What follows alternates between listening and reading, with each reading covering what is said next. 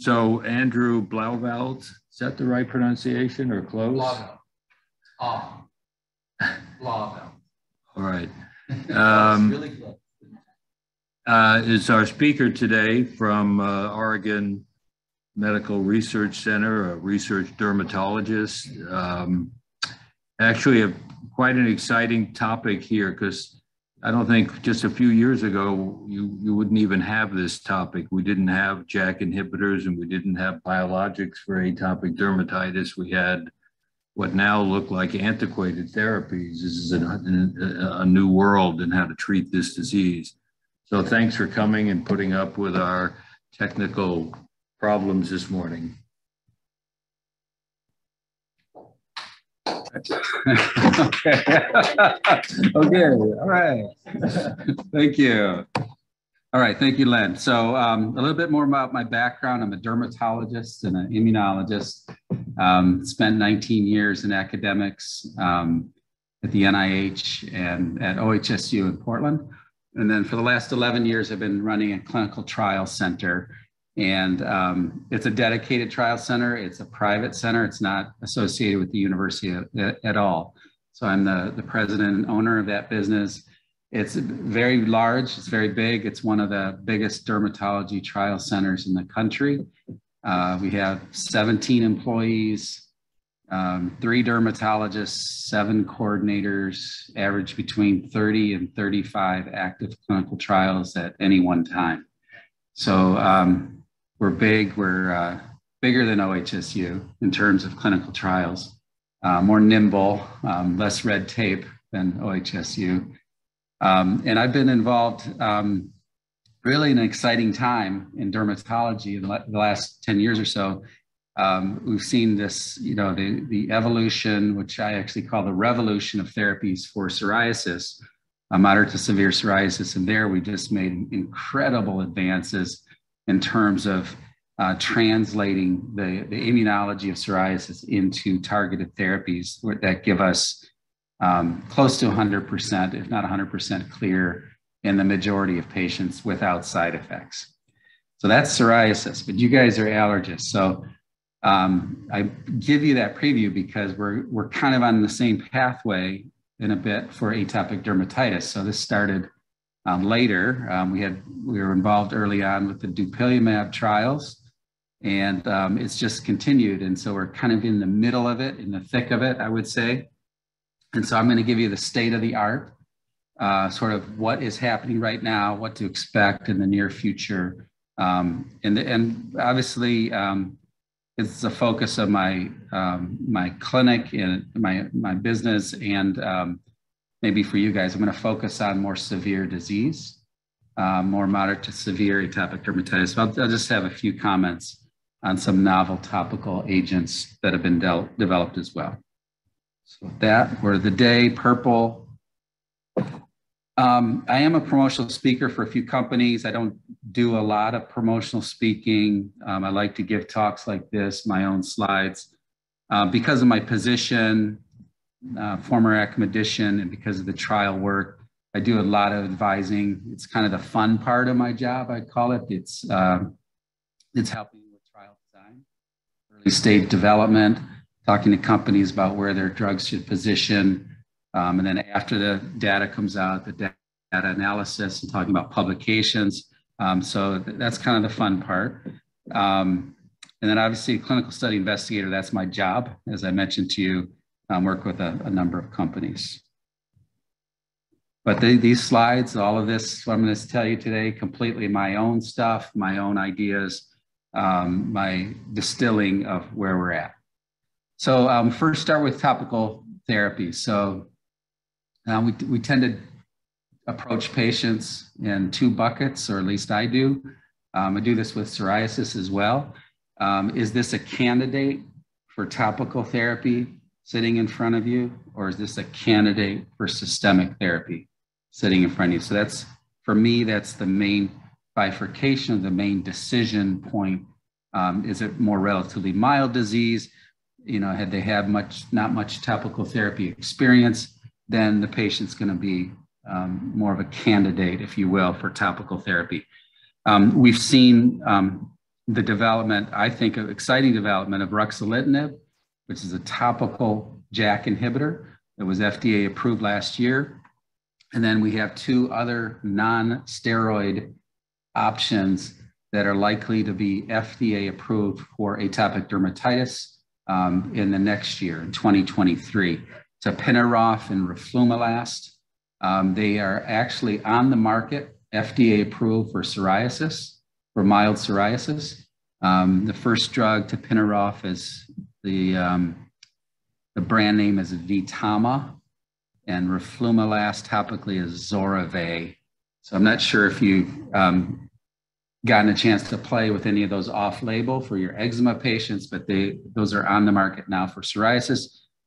Uh, mechanism of action, they are, um, so Rux is a, a JAK inhibitor. Tapinarof is a completely novel mechanism of action. It inhibits aryl hydrocarbon receptor. I'm, I'm sorry, it's an agonist for aryl hydrocarbon receptor, AHR. An AHR pathway is a natural inflammatory pathway that we have in our skin. It's uh, evolutionarily conserved. Uh, insects have AHR pathway um, to help them with inflammation.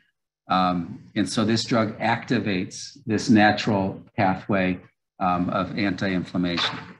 And roflumilast is a phosphodiesterase 4 inhibitor, PDE4 inhibitor used topically. Um, there's two other PDE4 inhibitors on the market. Um, one is apremilast uh, or Otezla for psoriasis. That's a pill. And then there's a topical PDE4 inhibitor called um, crisaborole. Um, it's up there, um, also known as Eucrisa. Um, I'm not a big fan of crisaborole. Um, I think roflumilast is a, it's actually a much more potent PDE4 inhibitor, and we're seeing much better efficacy with roflumilast compared to crisaborole. Comment on the nomenclature, like how is the uh, JAK inhibitors, IP and so forth? It's just convention. Yeah, convention. They that that's you pointed out. Uh, the the nibs are all are all JAK. Yep. I mean, there's they're like UMAB and uh, for monoclonal, humanized monoclonal antibody or human antibodies. If it's humanized, it's is UMAB. Um, at some point, somebody developed that. So, so the bottom line here for topical therapy, and this is my last slide for topical therapy, um, is that um, there's more and more interest and development now in, in safe and effective non-steroidal options. Um, topical steroids for me are great for a couple weeks use to knock things down. I really don't like them for chronic use. I'm not a big chronic use of topical steroids person.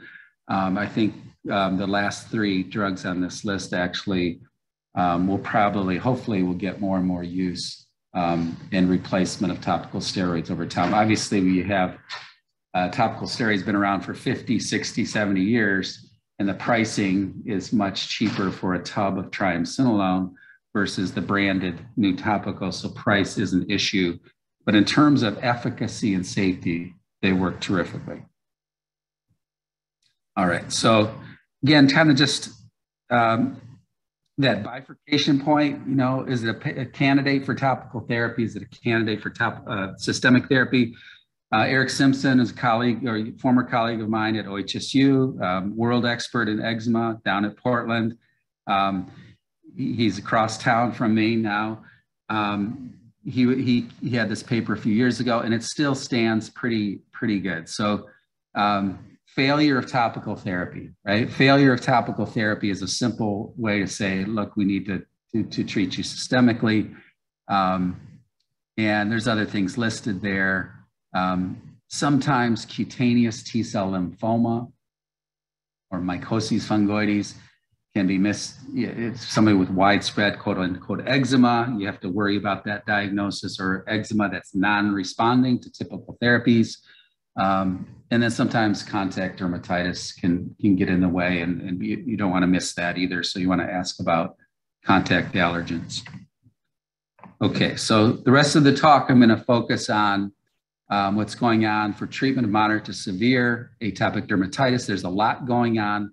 Uh, if it's in black, it means it's on the market. Um, and if it's in red, it means it's not quite approved yet, um, similar to what I just showed you, the same convention in the previous slide. So I'm going to focus on dupilumab. Um, well, I'm going to compare and contrast dupilumab, tralokinumab with upadacitinib and abrocitinib. So I'm going to kind of give you an update kind of on those four and then how to maybe have the conversation. Um, obviously, one of the biggest differences between those four drugs is the JAKs are pills and the, the, uh, the, the biologics are shots. Um, another obvious difference is that JAK inhibitors are more immunomodulatory or more immunosuppressive. And so they're going to be carrying a longer list of potential safety issues. And I'm going to do a deep dive on the safety of JAK inhibitors in atopic dermatitis and give you kind of the really the latest update on, on the safety there. Um, whereas um, in general, dupilumab and tralokinumab are, are generally safe, um, although I'll talk about a few things that are emerging safety-wise with dupilumab, especially now that it's been on the market for several years. So I there's always there's been a lot of different atopic dermatitis pathogenesis, um, immunology, uh, papers. I still like this one.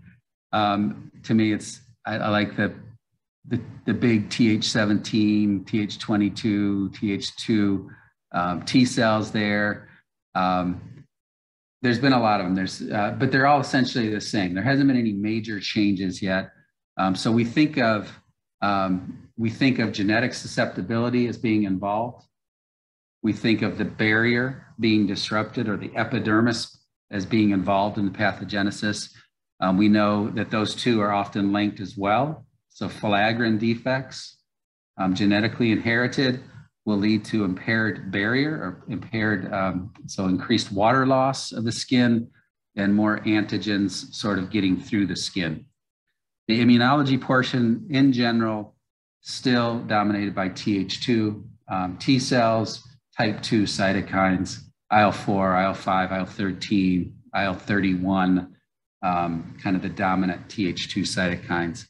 Um, a, a, number of them have been targeted, um, but I, would say right now the best thing that we have going are um, IL 13 blockers. So IL 13 seems to be the most important cytokine, at least as, as of yet. And we have two drugs that target IL 13, dupilumab and tralokinumab. Um, another really promising one coming up is called lebrikizumab, and that is also a selective IL 13 blocker. So, if you want to know what's more important, IL 4 or IL 13, um, if you talk to the Regeneron Sanofi folks, they're going to say they're both equally as important because their drug blocks signaling of both. If you talk to the Leo folks, or the, the Lilly folks, the people developing the selective IL 13 blockers, they're going to say IL 4 does not play much of a role in AD. And I actually kind of think that is more of the case. So, all the things that we kind of used to attribute to IL 4 have now been shown to be mostly due to IL 13. Um, they are very similar cytokines. Um, they share a lot of um, uh, functions. But if you look in lesions, you look in blood of atopic dermatitis patients, it's IL 13 and not IL 4 that's dominating in the tissue um, of AD patients. Is that true in asthma? No. So focusing on eczema, but that's, um, I think that's where a lot of the literature came as well from asthma and IL 4. So uh, it was just thought to be I kind of just went through this. Um, in the skin, um, IL 4 and IL 13 actually decrease filaggrin expression even more. So if patients have a defect in filaggrin and then they have Th2 cytokines in the skin, it's, it's even impairing further the barrier um, because those, that's been shown in vitro. Um, they, um, they also have been shown, importantly, recent years to mediate itch. Um, so not only inflammation, but itch is being mediated by IL 4 and IL 13 as well. So um, that's why we tend to see great uh, responses on itch um, when we target those cytokines. All right, so this is a complicated slide. I'm, I don't think you need to know it in detail because um, the bottom line is dupilumab is a receptor inhibitor. So it's binding to cell surfaces and binding the IL-4R alpha, which is shared by IL-4 and IL-13. So dupilumab binding receptor, um, whereas lebrikizumab and tralokinumab are the selective IL-13 blockers. Those are cytokine binders. So they're binding the cytokine IL-13. Um, and some people say they're a little bit different because with Lebri, it still allows binding um, to the receptor, but it's not active. And, and with, with Tralo, if Tralo binds IL-13, it doesn't allow binding to the receptor. It's really unclear whether that makes any difference at all. Just think of them as two cytokine binders versus the receptor binder. So um, I'm not going to show dupilumab data. You guys are using dupilumab. Everybody knows that. So I'm going to kind of focus on the newer ones. Um, this is tralokinumab phase three pivotal study, two trials left and right. Um, I'm on this paper. I think I'm the second author on this paper, third author, something like that. Um, the bottom line here is that the efficacy was relatively relatively poor compared to dupilumab. So the same measurement here, IGA 01, which means clear skin or almost clear skin.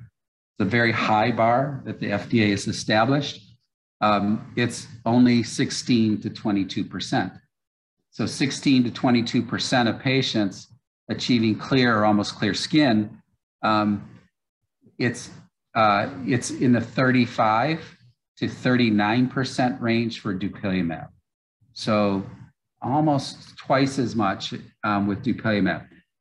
What I'm gonna show you though is this drug looks better when you add topical steroids in, so you get a better response. Of course, your placebo response, which is placebo plus topical steroids, goes up as well. But the key thing for this drug called tralokinumab is that it works really, really well over time. I just showed you the week 16 data. The, the patients keep getting better and better and better over time. Um, this is two year data, and I was the first author, it was just published a couple months ago.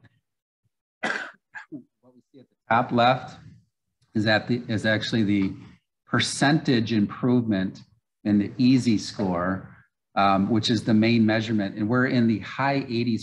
So we're basically seeing patients who are um, 85 to 90% improvement on their score over time um, with continued use of tri- tralokinumab. Better late than never. Sorry. So, um, so any questions about this? So, so this slide has a lot of stuff on it, but I, I really wanted you to concentrate on the upper left because it is the it's per, it's the average percent improvement in disease, and you see that over time that the average improvement is really high. Um, and then we looked at different measures down below and we looked at different ways of doing the analysis and different statistical ways and basically it holds up. So this is not a statistical mumbo jumbo or now that we don't have the placebo arm you know oh they a lot of times when you look at long-term data you really have to look at how the statistics are done. Um, this is a real effect. So this drug patient in the long run, patients do terrific. Um, I would say, I'll show it in the next slide, the summary of this drug. So it was approved last December. It's dosed every two weeks, just like dupilumab. Um, it's approved 18 and up, so it doesn't have the children label like dupilumab has the label all the way down to six year, uh, six months old. But the efficacy is good, especially over time. And I actually think it has less eye issues as well. If you look at the data, um, conjunctivitis as the main side effect of dupilumab, um, we see that less often with tralokinumab. So are you going to choose this drug over dupilumab? Uh, dupilumab is established. It's in kids. It has long record. Insurance companies pay for it. Um, it would be hard to choose this one first, right? But if you had a patient on dupilumab that wasn't doing terrific or had eye issues and um, didn't want to mess with JAK safety and didn't want to be have blood test monitoring and so forth, this is going to be an excellent choice. So that's where I think this one fits. Probably second line biologic after dupilumab. Has anybody used this drug yet? Adbry. A D B R Y. And it's from Leo. This is the Leo drug.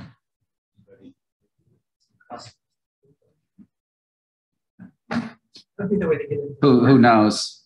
No, it's for, you know, it's all pharmacy benefit manager controlled. Is there a way to compare like two-year data?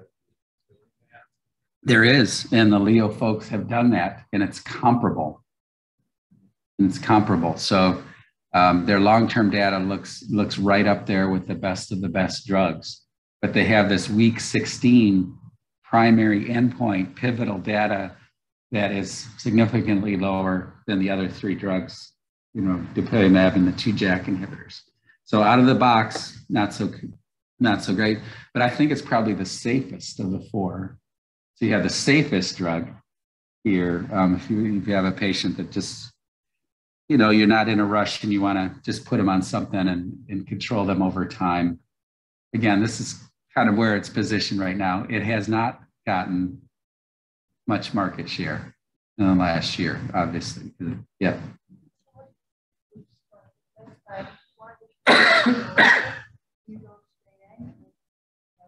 yes, absolutely. Think the. So they, um, the question was, can you go straight from dupilumab to tralokinumab without a washout period? And the answer is yes. No issues.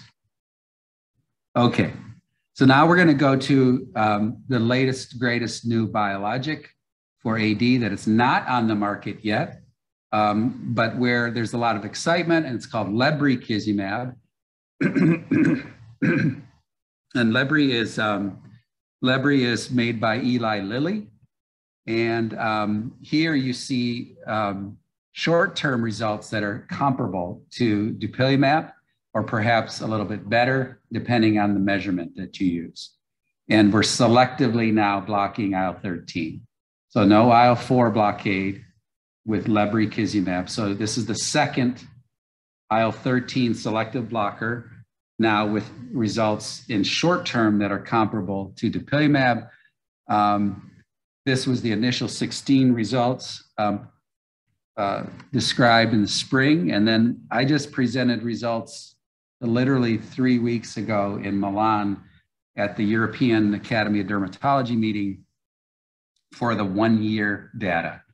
And I'm going to, uh, I think it's kind of cool, and that's why I'm showing it to you um, because in this um, in this part of the study in the green box, we had patients that were being dosed every two weeks for 16 weeks. And I just showed you efficacy that was comparable to dupilumab. But then we took the responders and we took and we put kept the responders either on every two week dosing or we spread them down to every four week dosing or we put them on placebo and then we carried them out for 52 weeks. So this is a maintenance part of the study to look at maintenance of response in the responders. And what we're seeing in both studies, this is just two measures, but we have a whole bunch of measures, is that the Q2 week dosing is looking almost the same as the Q4 week dosing for maintenance. That's a bottom line thing to remember that this new biologic is likely to be having a maintenance dosing of once a month, Q4 weeks, which would put it ahead of dupilumab because dupilumab is every two week dosing continuous. Um, and there's a bunch of measures, like I said, in some of the measures it looks better than dupilumab in terms of efficacy, uh, mono a mono. You look at efficacy numbers, um, I think it's slightly better than dupilumab. The other fascinating thing is the gray lines, because these are people that were treated for four months and then put on nothing. And now we're going out to a year, and almost half of the patients are being maintained at zero one, which means clear skin or almost clear skin without being treated with anything. What does that say to you? How long were they treated actively? 16 weeks. And then this is all, everything I'm showing you here in the gray line are people that are on placebo shots.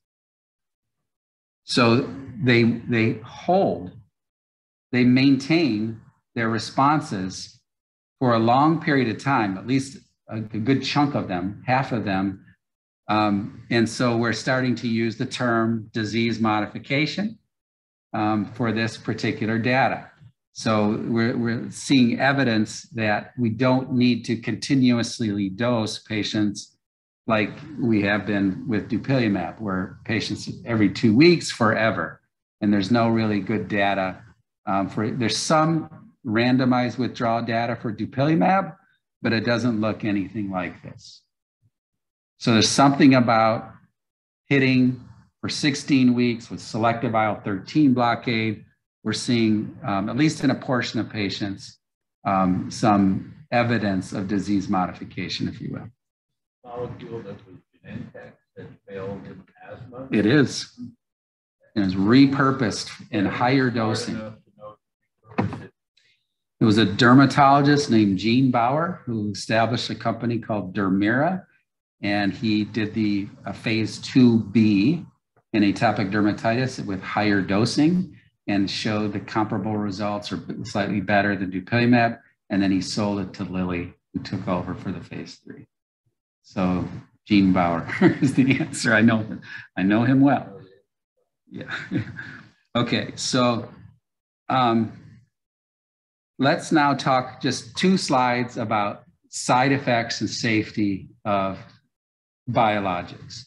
So we're seeing, I would say, in general, I'm going to make the statement that in general, tralokinumab and lebrikizumab have comparable safety profiles to dupilumab. And that makes sense, right? It's very similar um, MOA, except for the IL-4 piece. Now, for me, dupilumab, I don't know for you guys, this is the dominant side effect this is the one. This is the one thing that I tell patients because it's pretty common. Um, if you, in my experience, it's 10 to 20%. If you look at the literature, most of the time it's in that percentage. Sometimes it's even higher. Some clinics reported in 40% of patients. I don't really believe that, but um, it's pretty significant. Um, it can be very mild to very severe. It can be just a little bit of dry eye, a little bit of eye itching, all the way to full on bright red eyes. You walk in the room and their and their eyes are just bright red staring at you. Um, so it can be not much to a lot. I'd say in my experience, and I've had I've had a lot of patients treated with dupilumab, um, probably about 200. Um, it's 10 to 20 percent and most of the cases are mild to moderate, and most of the time patient, patients can continue their drug. I have a go-to ophthalmologist uh, in in my town. He we send him every uh, every conjunctivitis case, and I let him manage it. um, I you can, if you don't have a, an ophthalmology consult right away, you can just start with saline drops. Um, simple topical steroids in drops can work well as well. Topical cyclosporin can also work well in short term periods. So you guys know this. Now, you may not know this. You may not know this because there has been a scouring of cases uh, that have been reported post marketing for dupilumab. And so this is a paper that just came out in one of the best journals in dermatology, the Journal of Investigative Dermatology. And it talks about rare reports um, of side effects from dupilumab from the like the market database. So these are post-marketing reports. And what pattern we're seeing is what the authors call Th17 driven diseases, things like uveitis, seronegative arthritis, psoriasis, um, ankylosing spondylitis, uh, enthesopathy. So psoriasis like inflammation in dupilumab treated patients. Now, if you, you guys know from way back, immunology, Th2 balances Th1. Well, Th2 also balances Th17. And so we rarely, in my year, 30 years of dermatology, rarely see a patient with eczema and psoriasis at the same time. One is a Th17 driven disease, one's a Th2 driven disease. And so you're seeing psoriasis like things happening, not just psoriasis, but psoriatic arthritis in people treated with dupilumab. And I've had a few cases. I don't know if anybody else has seen uh, seen this before, but arthralgias, um, you know, and, yeah. So this is what we're talking about now in the green. So is it a big issue? Do you talk to your dupilumab patients about it? Is it something that is it emerging now? Is it in the label? Uh, not not quite yet, but it's it's something to think about. And I want you to, it's, it's a really important thing to kind of remember, I think, from today's talk. If you haven't heard about this, yeah, go ahead. You said that um, separated just for eczema patients, but in chronic sinusitis with polyps, you used to get conjunctivitis Yeah, yeah, that's a little bit older slide um, from the original days when it was asthma versus AD, and they didn't see it much in the asthma patients. But that's a good point. Mechanism still unknown. For the conjunctivitis, Yes. there's some theories, but yeah, it's it's. All right, so now we're gonna, with that, I'm gonna have just one slide um, because I'm not a huge fan, but uh, nemolizumab uh, is a new biologic. It's also likely to be FDA approved next year. And the mechanism here is completely different than what we've discussed so far. It, it, it blocks the IL 31 receptor. IL 31 is put into the Th2 family of cytokines. And it's um, the board question for fellows, it's the itch cytokine. Um, but it's not the only itch cytokine because IL 4 and IL 13 have been shown to be involved in itch as well. Um, the problem with Nemo is that all the trials have required topical steroids as adjunct because Nemo alone doesn't do much. So blocking itch alone doesn't lead to much change in the inflammation.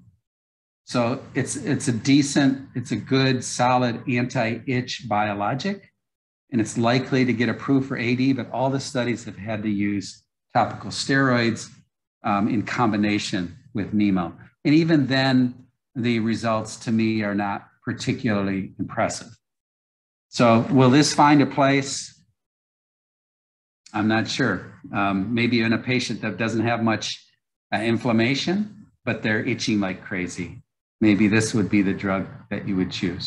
It's the one that veterinarians have. Yes. Totally great dog. Yeah. Yeah. No further comment. okay. Um, all right. So now we're going to spend the rest of the time look, uh, talking about JAKs and, and how am I doing on time? What time is it now? We started late. I know, but I want to be done by 8.15. So, This is your. Okay, good. Good. We got Stop and have something to eat or drink. yeah, no, no, we got a good half hour to, um, at least, or 20 minutes to talk about JAK. So, um, so I'm going to be kind of, uh, as the title of the talk is kind of comparing, contrasting JAK's with what I just told you, because you're going you have these different options now, systemic options for people with widespread disease, and so um, I uh, there are a group of dermatologists, I'll just say embarrassingly, who have said, we're not going to use JAKs. They have boxed warnings, not going to go there. I don't want to do drugs with boxed warnings, which is kind of ridiculous because dermatologists use drugs with boxed warnings all the time. TNF blockers, Enbrel, Humira, they have boxed warnings and, they, and they're wide, used widely. Uh, Protopic and Elidel have boxed warnings. Uh, they're used widely. So I'm going to tell you the history in the deep dive on the boxed warnings for JAKs because I, this is a crusade of mine for this year because in January we had the approval of two drugs for atopic dermatitis that were JAK inhibitors. And then we've seen all of this reticence in the derm community, and it's kind of driving me crazy. So um, I've had four years experience using JAKs um, in a wide variety of diseases, uh, atopic dermatitis, vitiligo, uh, hidradenitis suppurativa, um, and alopecia areata. We just had a, an approval um, of baricitinib for alopecia areata. So it, it grows hair. So these are terrific drugs in my view and major advances to the field of inflammatory diseases. So, um, so bear with me. I'm going to try to, I, am going to also want feedback from you guys. Um, you're already being good and questions, but on the safety and, and, and on the safety data, because that is the elephant in the room. It's the boxed warnings. It's not about the efficacy, because the bottom line is the efficacy is better, and some would say much better than dupilumab, tralokinumab, lebrikizumab. So we have terrifically efficacious drugs. They're pills once a day. Why aren't they being used? Well, because of the boxed warnings. So I don't think I need to tell you this, but these are small molecules absorbed through the stomach and not only absorb through the stomach, but absorb through the cell membrane. So the hatch bar here is the cell membrane.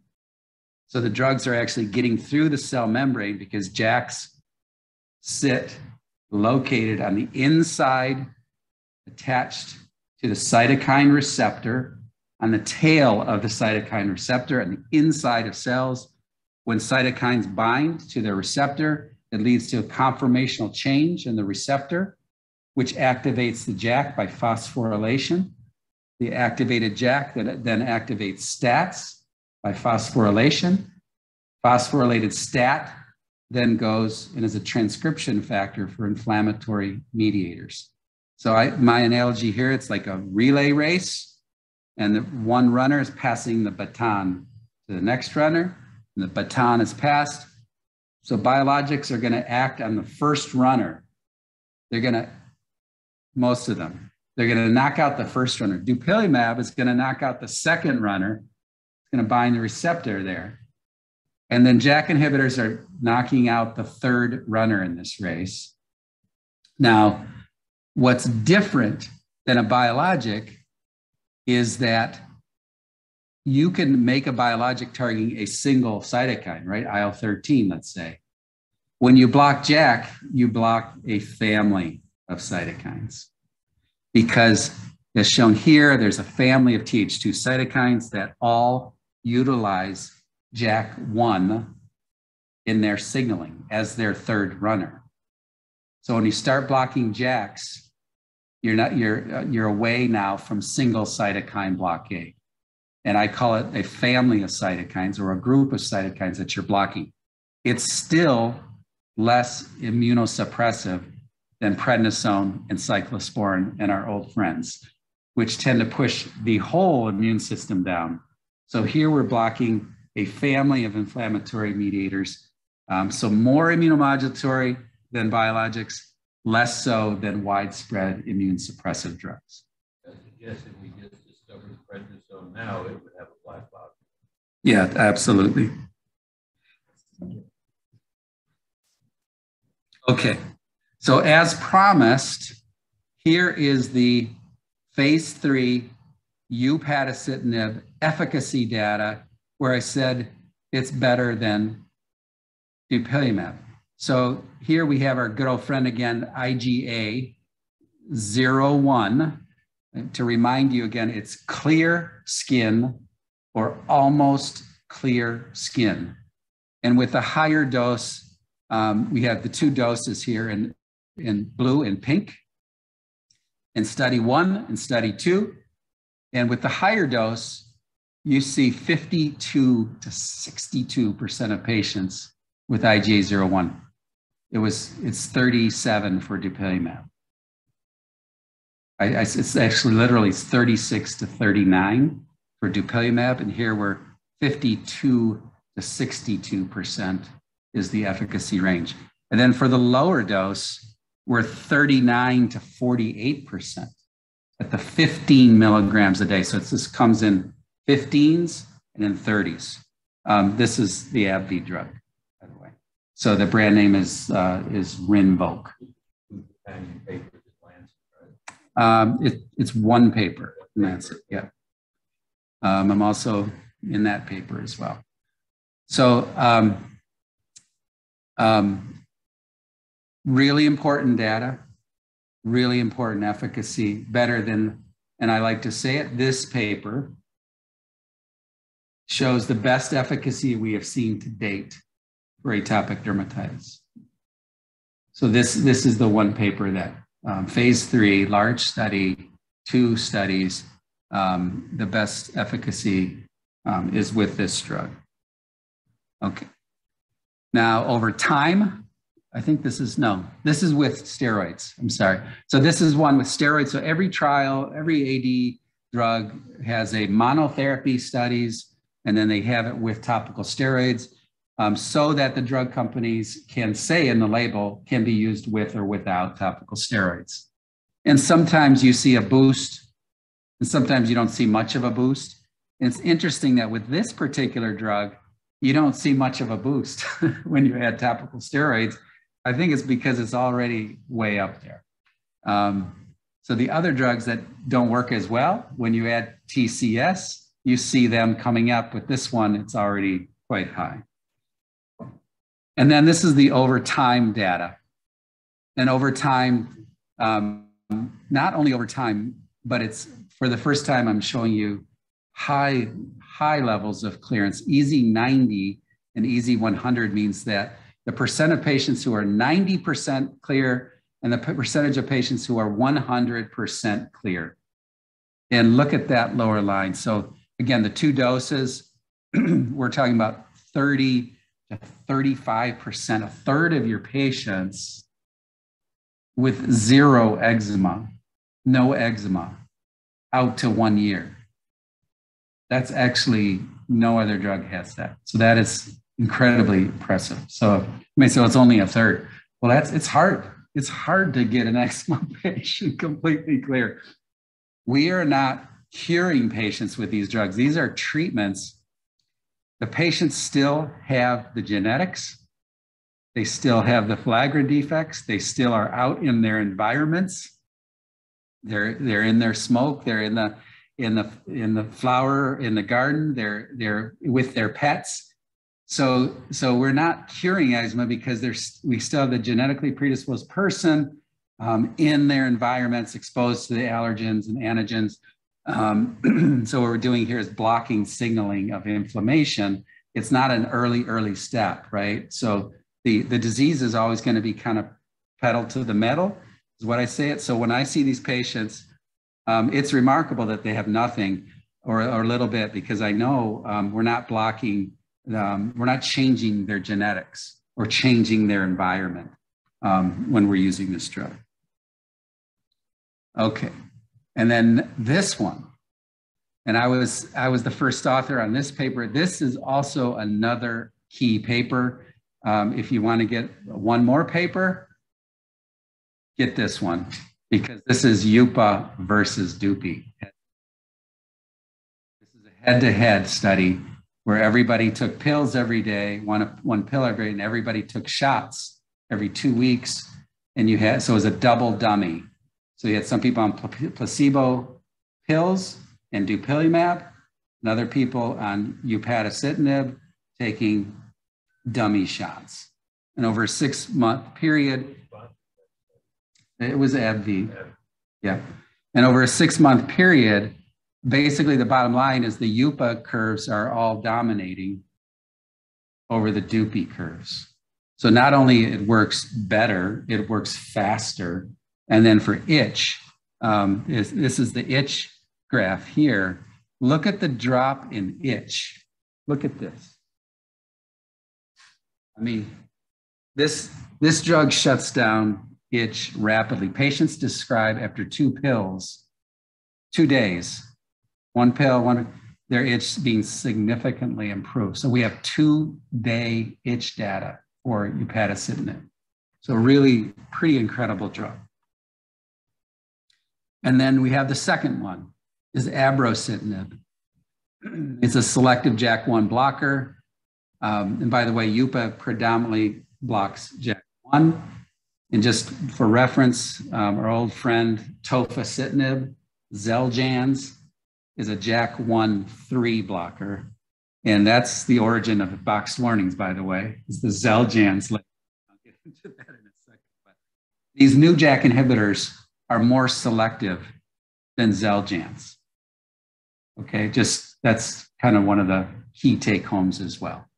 So abrocitinib works well also, um, and it works in the higher dose. So again, two, two doses as well, 100 and 200 now. So these two new JAKs have two doses, 15 and 30 for UPA, 100 and 200 for ABRO. And you do see a dose response, but the lower doses do really well. They don't work half as well. They, they actually work uh, pretty well. And then we see over time, the lower doses of JAK catch up to the higher doses. So you don't necessarily have to use the higher doses of, of these two JAKs. You'll get more bang for your buck from the beginning, but over time, the lower doses work really well. And so the comparison here 100 of Abro looks similar to Dupi, by the way. And the 200 of Abro looks better than Dupi. Okay, so that's that's the bottom line for you guys. So both drugs look better than Dupi, especially at the higher doses.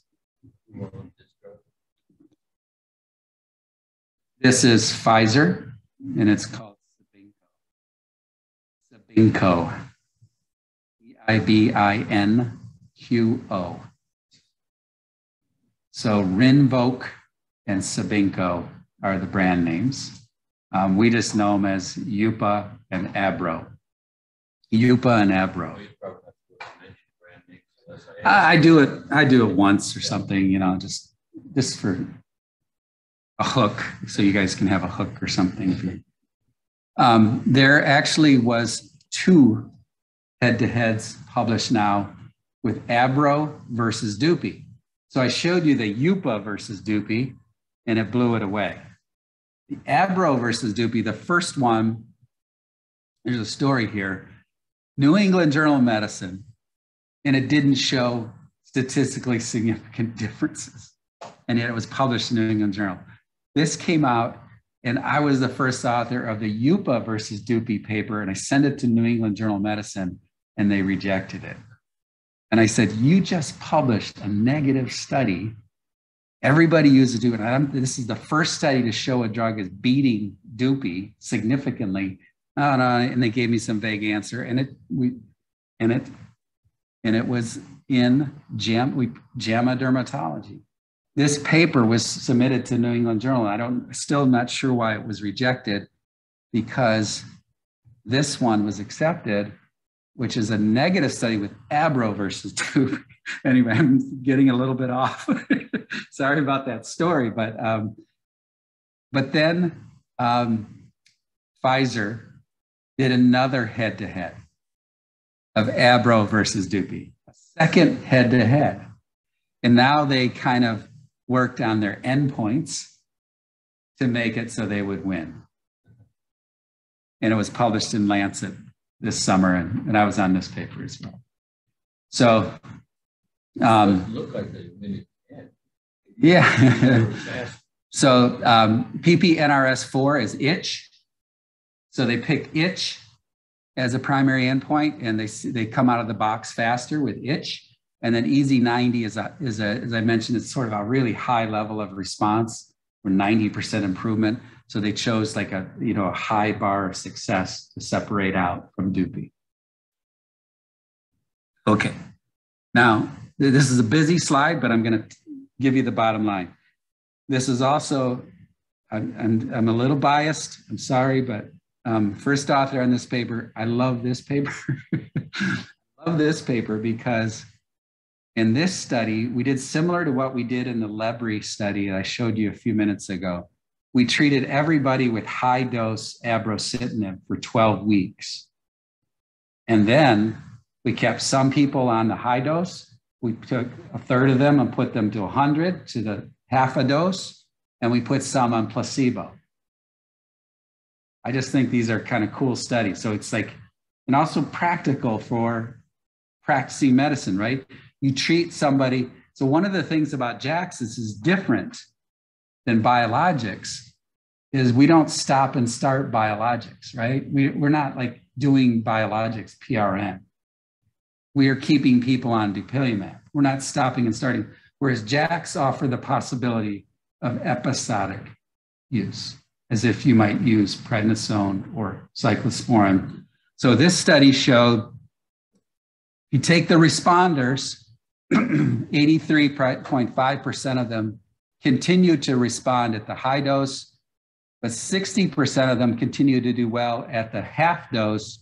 And then now 22% of the patients who are taken off Abro and put on placebo um, still are responders. So Again, high dose better than low dose, um, but you do have people that don't need drug. There are a population of people probably you could treat for three months and then, you know, um, take them off drug. Okay, now to the elephant in the room, and it's safety. So I promised to talk about safety. Here we go safety of JAK inhibitors. So this is just kind of my drawing to help you um, think about immunomodulation or immunosuppression, if you will. For me, I use the word immune suppression for the top drugs only. I, I really, I don't think the word immunosuppression is great to use for JAK inhibitors or drugs that are sort of more partially um, blocking. I, I, just don't put it in the same group as, as our, our old friends. And then I do think the targeted biologics, they they really are more safe. So here are the boxed warnings. Do you guys use JAK inhibitors at all? No? So you haven't used them in AD yet? Ah, okay. Well, would you after this maybe? Okay. So here are the boxed warnings. So there are five of them serious infections, MACE, death, thrombosis, and malignancy. That's some pretty heavy hitters, right? Those are some pretty heavy hitter box warnings when you have death in there, especially, and cancer. Um, so this is the reason why they're not being used by dermatology very, very commonly. Now, where do they come from? They come from long-term data on tofacitinib and rheumatoid arthritis studies, and especially a study called oral surveillance. And oral surveillance is a study that enrolled rheumatoid arthritis patients that were 50 years old or older. That was the enrollment. They had to have had at least one risk factor for MACE, or heart attack or stroke, to get in. And 75% of the patients were on concomitant methotrexate and or prednisone. That's the population of oral surveillance. Old rheumatoid arthritis patients on immune suppressives who are also at risk for heart disease. And what was the study? It was tofacitinib, Xeljanz versus TNF blockers. And they were followed over time. And these things turned out to be more common in the TOFA treated patients versus the TNF blocker treated patients. It's actually not compared to baseline risk or community data. And I always say, well, what if TNF blockers reduce the risk of these things and that the JAK inhibitor data is just baseline risk? But that's not how the FDA looked at it. They see these two groups, and there were more cases of these five things in the Xeljanz treated patients versus the TNF treated patients over time in this population, high risk, this old population.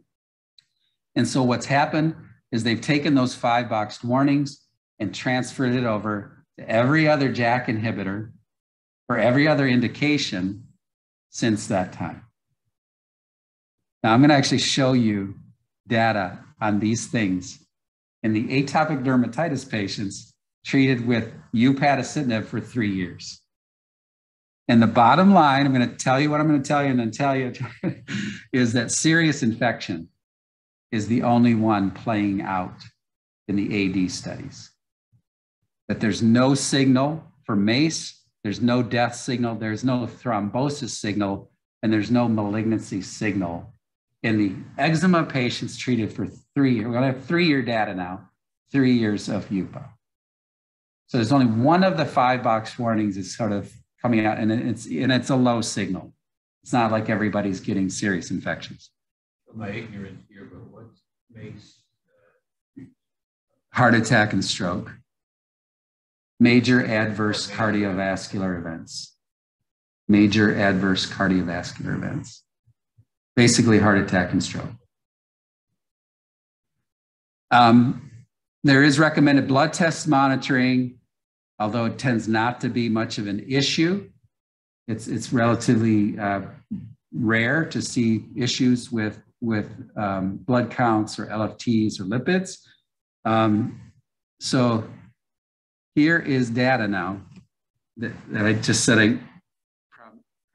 So um, we have on the left is three years of exposure in atopic dermatitis patients in different studies, measure up one, measure up two, and then we have malignancy rates, MACE rates, and venous thrombosis events rates. We have the 15 milligram group and we have the 30 milligram group. And these are um, rates, so events per 100 patient years. The number of events per 100 patient years. And the key thing for reference is published data in atopic dermatitis patients. The malignancy rate in two papers was estimated be between 0.33 and 0.45 in AD population. And if we go back up at the top, you see the rate is 0.4 to 0, 0.1 to 0.4. MACE, what is the background rate of MACE in an eczema patient? It's 0.63 published. What's the MACE rate in the AD studies? It's less than 0.1. Rare cases. Venous thrombosis in AD patients, the rate is 0.31 from the published literature. We go back up here, venous thrombosis rates in the AD patients, less than 0.1. This is a take home slide also. Good comment. So these are three of the biggies, right? And, and death is not up here, but death, there's no death signal. So four of the five boxed warnings. So if you're prescribing Rinvoq to your AD patient, say, look, I got to tell you about what's in the label. but that where you tell them where it came from for a, a related drug in another disease, and that the data look good so far. That's how, that's how I would describe it because it's the truth. So it's a much younger population, right?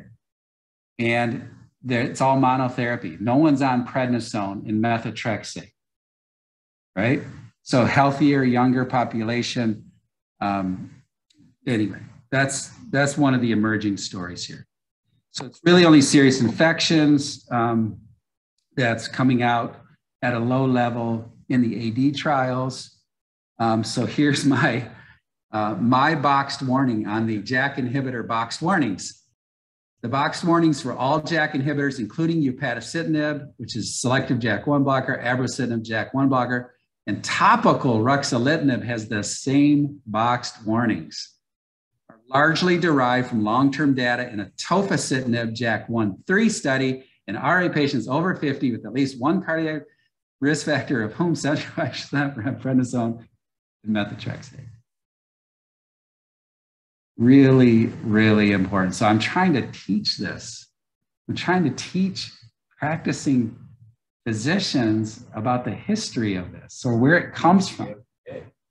No, it's um, so the bottom line. What are the most common side effects? Well, it's nausea, headache, and acne. Those are the most common side effects with JAK inhibitors. Um, and they're usually mild, easily manageable, do not lead to drug discontinuation, with the caveat that serious infection may occur at, at, a, at a low, low rate. So you do have to kind of keep aware of, you know, fever, that kind of, you know, anything, if your patient's calling you possibly infected, you have to keep that in the back of your head. So that's, that's an important caveat.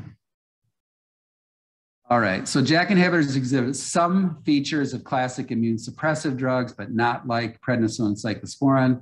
Understand all the possible effects of JAK inhibitors so that you can have an informed discussion with your patients with AD and alopecia areata. Um, there is recommendations for baseline monitoring CBC, DIF, LFTs, lipids, and about every three to six months afterwards. Um, you do have to check for TB um, and then there is a note of caution for your older patients. Because if you look at the side effect profile in general, you tend to see more stuff in the higher dose versus the lower dose. And you tend to see more stuff in over 60 compared to younger patients. Kind of consistent with that oral surveillance data, right? So um, older patients, though, get more cancer they get more they get more heart attacks.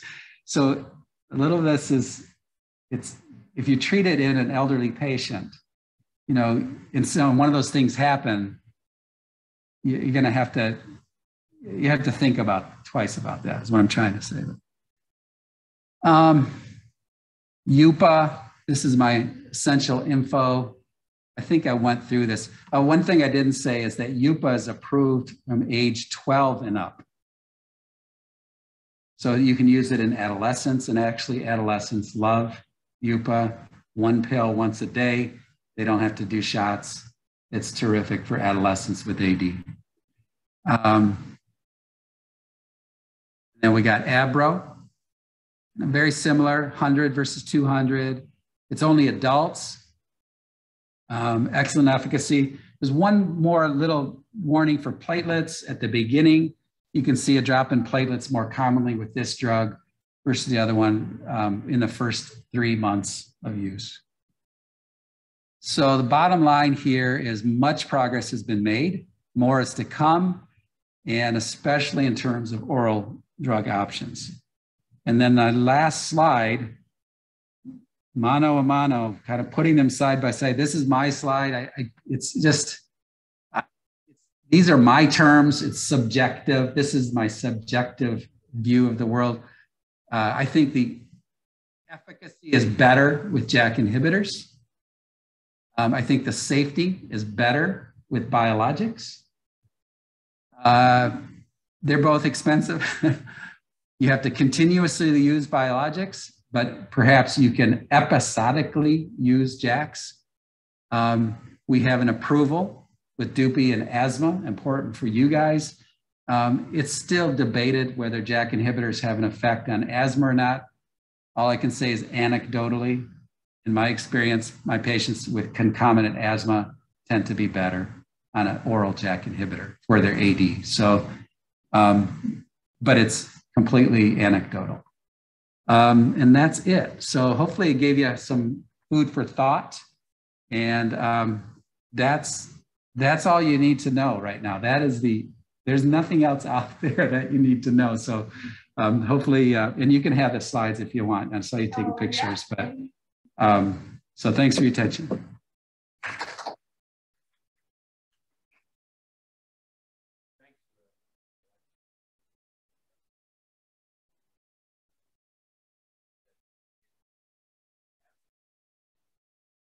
Right. Conversation of just the last few years of amazing progress. Interesting to me, when we got the IL-5 drugs for asthma, we were left in a quandary because no one did head-to-head studies. And I presume, I don't know if you know anything about the politics of how these companies decided to actually do these A little bit. double-blind, double dummy studies.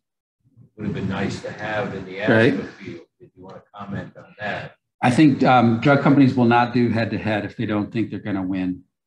So they won't do it for academic reasons. If they they they have to think that they're going to win, and that's that's the companies who do that. So that's we uh, it, IL five blockers don't work very well actually in AD. So they they failed in AD.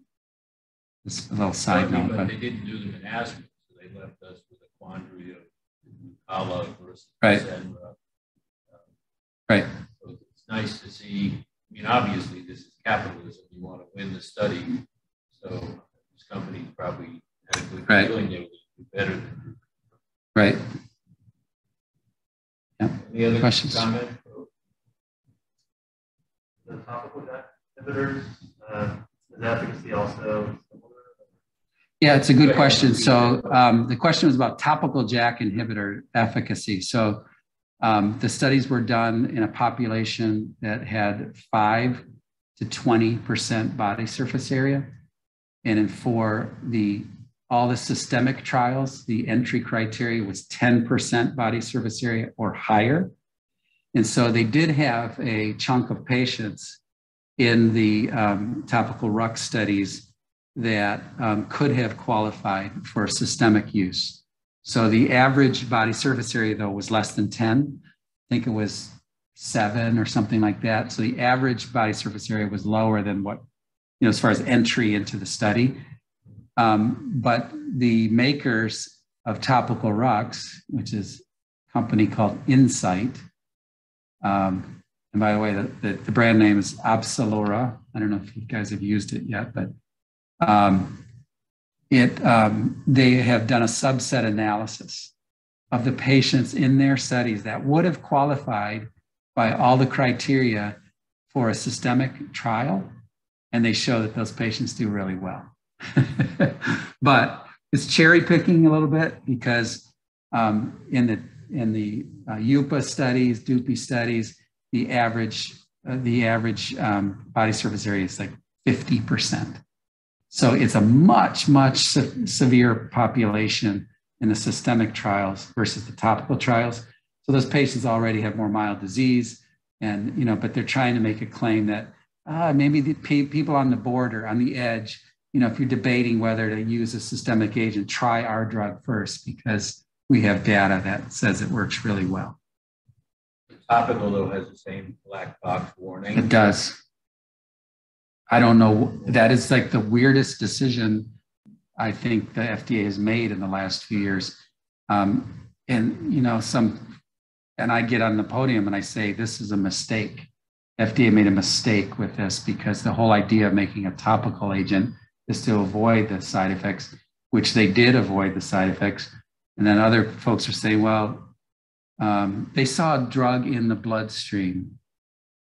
I don't care. I mean, that, those are maximum use studies. So for topicals, there are quote unquote maximum use studies where they bathe people in the drug, like have them use it all over their body. And then they look for a drug in the bloodstream. And yeah, they, you can detect drug in the bloodstream when you're bathing in the cream. Um, but the clinical relevance of that, right, is, is very questionable. So just the fact that they could detect it in the bloodstream led them to put the label on. yeah.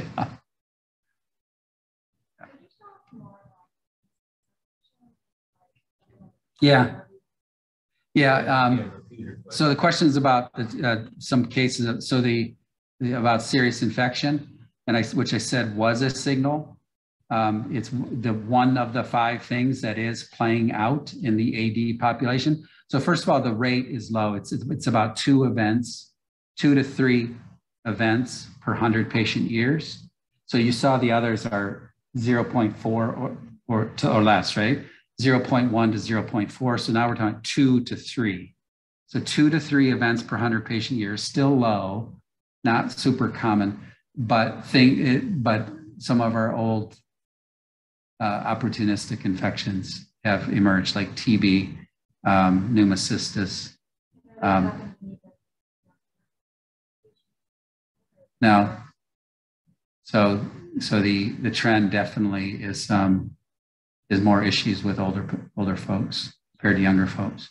So the other thing that's happening in some derm practices, there's some people that just don't use it, and there are other derm practices who are using it, but only in their their uh, people. The, the term that's being used is in their Olympic athletes, people who are super healthy. Oops, sorry, super healthy and no no other meds and and like uh, okay, I'm going to give that patient a JAK.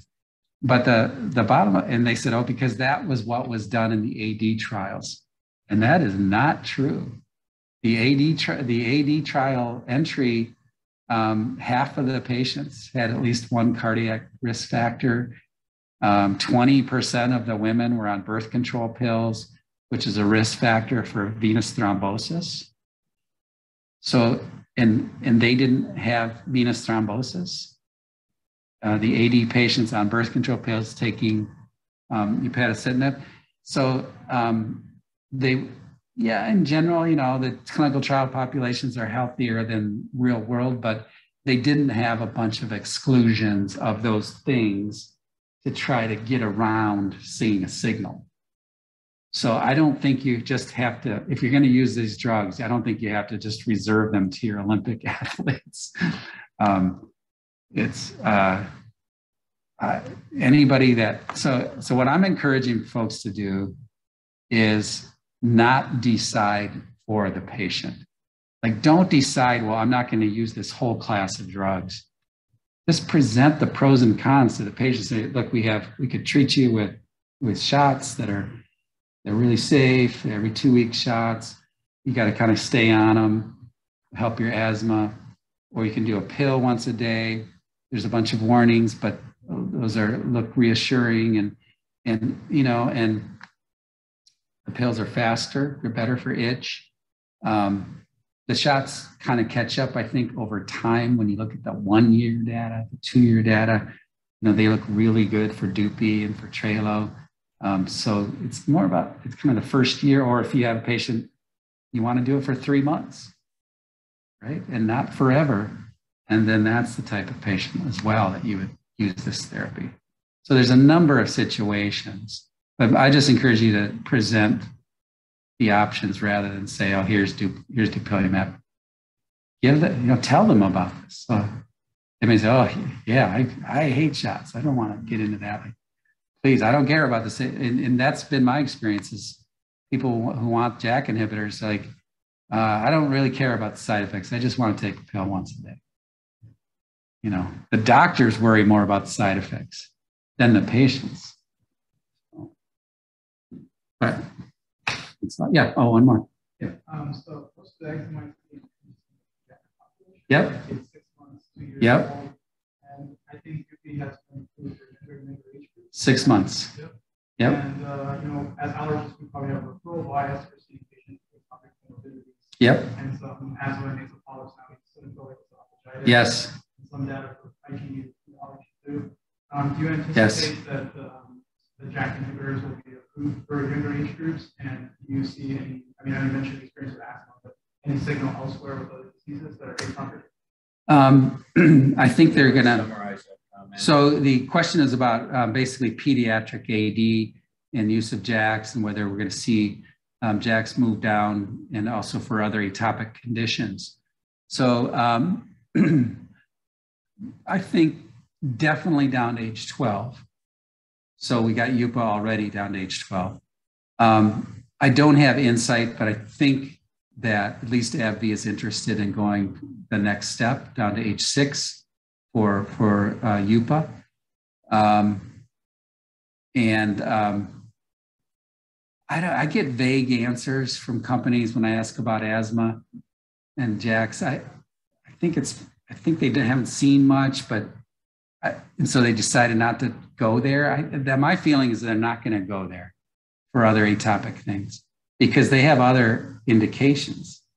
Didn't mention that, but upadacitinib is approved for five indications. I didn't even say that. Uh, rheumatoid arthritis, uh, psoriatic arthritis, uh, ulcerative colitis, ankylosing spondylitis, and atopic dermatitis.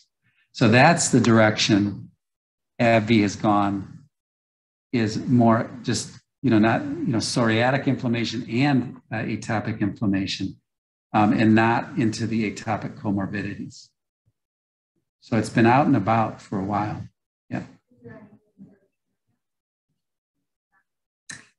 Urticaria, completely different topic, different types of drugs, but not not these. Yeah. Uh, sort of intuitive, but mention why the JAK inhibitors have a greater risk profile by their mechanism of action? Yeah, I mean, it's pretty simple. I think it's, um, I mean, it's you're blocking more is the simple answer. And so, um, so I showed you a selection. This is only a selection of the cytokines. So the JAK-STAT signaling pathway is pretty complicated. And they have, there's four, there's four members of the JAK family. JAK, JAK one, two, three, and TYK2. And they each pair with another form. So they're JAK1, JAK1 homodimers, there's JAK1 JAK2 heterodimers, JAK1, JAK3 heterodimers. So they require a pair. And so you can't get the same kind of selectivity um, when you, you could say, well, we only inhibit one of the four JAKs. And they have done that. They can say JAK1, but JAK1 pairs with these other things. And then you have a whole bunch of cytokines more than shown here that potentially, so there, there, you know, I, I, suggest, you know, if you just look at a review paper for JAK signaling, if you really want to get the full um, array of which cytokines you're blocking for which agent, like Xeljanz will do this, and then UPA will do a, a little bit different because it's selective one. So one versus three, you're going to see inhibition of, but it's more than this is, and that's probably that's probably why you see um, an uh, you know an impairment in the ability to fight infection because you're you're blocking a family of cytokines that are involved in inflammation, and inflammation is important for clearing infection. Right? It's not T cell inhibition like you see with cyclosporin. Prednisone it actually inhibits T cell function. This is this is the so this these are not inhibiting T cell function, but more of the the, the mediators involved in enhancing control of infection. I've used a lot of cyclosporin for chronic spontaneous urticaria. And careful with it, I've never really found it to be a problem. Um, so here's an old, cheap immunosuppressive drug that if used wisely, I think still has a place. I don't know what your comment. I, I mean, I've used cyclosporin as well, like you. I'm I've been, you know, don't look that young, but I've been a dermatologist for 30 years. So definitely grew up with methotrexate and cyclosporin um, in dermatology as well. Those are go-to drugs for us before the era of biologics. So um, for me, um, one year of use, pretty safe. Uh, beyond that, uh, it's I had a lot of problems with renal function or beyond one year of use. Creatinine's creeping up and hypertension sometimes too. All right. Thank you. Well, thank you. Yeah. Uh, Really brilliant. Sorry we gave such a rough start.